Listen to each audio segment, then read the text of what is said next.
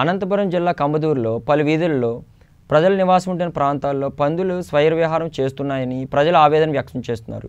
ఒకవైపు corona virus తీవ్రతకు ప్రజలు అల్లాడిపోతున్నారు. ఇప్పుడు పందులు పలు వీధుల్లో తిరగడం వల్ల మెదడుబాపు వ్యాధులు వంటి అనేక జబ్బులు వచ్చే ప్రమాదం ఉంది. అధికారులు ఈ విషయంపై తగిన చర్యలు తీసుకోవాలని ప్రజలు కోరుతున్నారు.